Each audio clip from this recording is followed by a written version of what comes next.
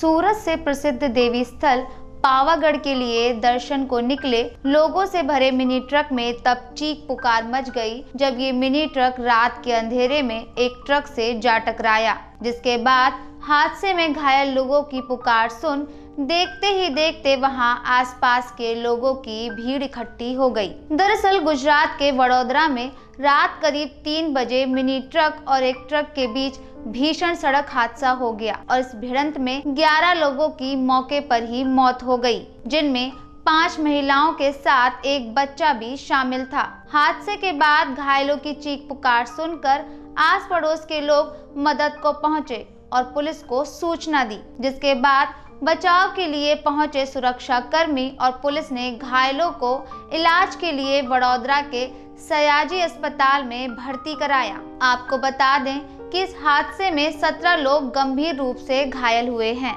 वहीं इस खबर के सोशल मीडिया पर वायरल होने के बाद देश की बड़ी राजनीतिक हस्तियों ने ट्वीट कर शोक ज़ाहिर किया है। पीएम नरेंद्र मोदी ने ट्वीट कर दुख व्यक्त किया है और लोकसभा के स्पीकर ओम बिरला ने भी वडोदरा की दुर्घटना पर शोक जताते हुए कहा कि गुजरात के वडोदरा में सड़क हादसे में कई लोगों की मृत्यु का समाचार पीड़ादायक है। ईश्वर दिवंगत आत्माओं को अपनी श्री चरणों में स्थान दे। शोक संतप्त परिजनों के प्रति संवेदना व्यक्त करता हूँ। घायलों के शीघ्र स्वस्थ होने की कामना है। वहीं गुजरात के मुख्यमंत्री विजय रूपाणी ने इस हादसे पर दुख जताते हुए ट्वीट में लिखा है कि वडोदरा के पास हुए सड़क हादसे के कारण जान माल के नुकसान से दुखी हूँ। अधिकारियों को ज़रूरी कार्रवाई करने के निर्देश दिए हैं। जो लोग घायल हुए हैं, वे जल्द से जल्द ठीक हों।